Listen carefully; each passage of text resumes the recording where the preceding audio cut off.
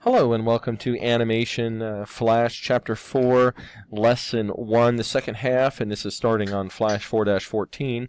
The very first thing I want to do is I want to insert, and I want to do timeline, and I want to do layer. That's going to insert a new layer, it's called Layer 2, and we're going to rename this Biker 2 biker 2 so that's our second biker layer and then at this point in time we want to go ahead and click over to our library when we want to grab the uh, biker library item or object and we want to put it right about there. Then what's going to happen is we're going to go to edit, we're going to go to timeline and we're going to go to, mm, excuse me, we're going to, ah, sorry about that. So edit, timeline, copy motion. I forgot to actually select the original item. Then I want to click back on where I want to put it. I want to do edit, I want to do timeline, and I want to do paste motion. And that's going to paste my motion right here. The next thing I want to do is I want to click on the free transform tool. Right here's my free transform tool, and then I want to select the actual path. That allows me, now this portion of selecting the actual path is very important. Now I want to do modify, I want to do transform, and I want to do flip horizontal. Right? So I went ahead and I flipped the horizontal item. Now you'll notice at this point in time it is the same motion path, but the uh, biker is actually set in the same uh, direction. Now what I want to do is I want to take this, move this downwards, right? So I want to here, grab my selection tool, and I want to click on the entire item, so I want to select it and then after it all selected I want to actually select it downwards and I want to move it here. To make it a little easier for me to deal with I want to go ahead and I want to click off that biker there so I can actually see it. At the point in time where I have that all the way down then I want to actually click here I'm going to click on my free transform tool and I should be able to then modify transform and I want to flip horizontal. That should allow me to flip the actual uh, biker itself. Now, in my particular case, um, my biker is now in an odd position, and I can then take him and move him like this. So now we're similar to uh, Flash 4-15, Figure 20, where I've aligned him to the path and make sure that's perfectly fine. So, um, I'm going to click frame 1 on the Biker 2 layout. So here's my frame 1 on the Biker 2 layout. And I want to display the properties panel. So there's my properties panel. You'll notice I have my rotate times right here.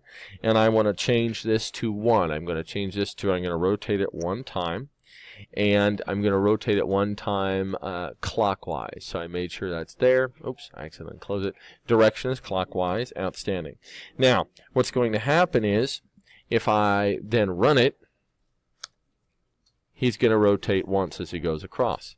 Then I can continue to do that. Let me go back to my frame 1. And if I chose two times, obviously he would then rotate clockwise two times as he goes across. So, I'm also going to click the Orient to Path. So, now we've actually sent him back back to the way it was. So I'm going to unhide the biker layer, which is that. So I've now I turned on the flips, and then by orient, orient to path, I turn off the flips. I want to click frame 1 on the biker 2 layer, which is right there. So I have my two bikers coming at each other. Um, insert on the menu, then click remove tween. So I'm going to insert, remove tween. So now I'm removing that. Alright. Blue highlight is gone. Biker on the biker two layers visible, but it does not move. Right, because I've removed the actual movement before. And I can use my edit, and I can do undo, undo clear frame, edit, remove tween, so now I've got it back. Um, now we want to click biker 2, and I can delete it and save it if I so choose. Now, the next thing I'm going to do, so I've added an item, I've copied it over, and now I'm going to delete that particular biker 2 layer. So I'm going to delete that layer as a whole. So now I'm just down with the one biker. The next thing I'm going to do is I'm going to create an illusion where the biker is moving off the stage. So I'm going to go to frame 40 and I'm going to lock the biker layer. So there we go. Now what I'm going to do is I'm going to insert a new layer. So we're going to do insert timeline layer. So here's my new layer and I'm going to call that bike off stage. Bike off stage, right? The next thing I'm going to do is I'm going to insert a keyframe. It says click insert a menu bar, point to timeline, click keyframe off the bike state bike off stage layer. So I'm actually going to do that right there. So I'm going to insert and I'm going to do hmm, I'm to go back here right there. I'm going to insert uh, timeline keyframe. All right, so now I've inserted a keyframe at 40.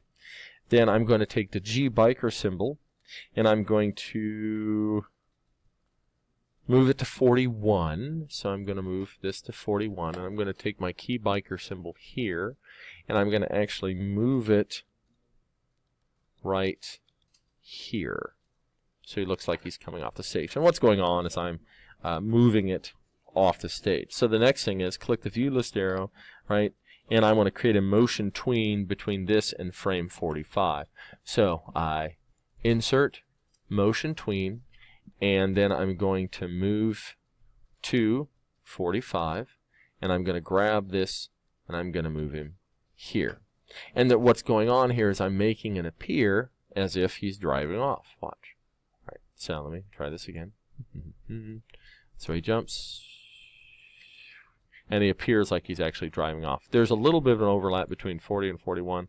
Let's see if I can't solve that a little bit and reset it.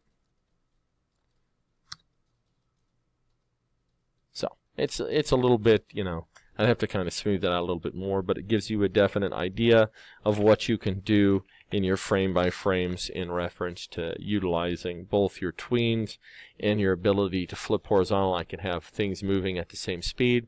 We went through, we duplicated the uh, movement, we changed an actual movement path, we actually changed and notice the difference between changing the movement path as opposed to actually changing the graphic itself. So there's a significant difference between the two and you need to be aware that you can manipulate those paths as needed. Alright, well thank you very much and if you have any questions uh, do let me know. Let's move on to lesson two.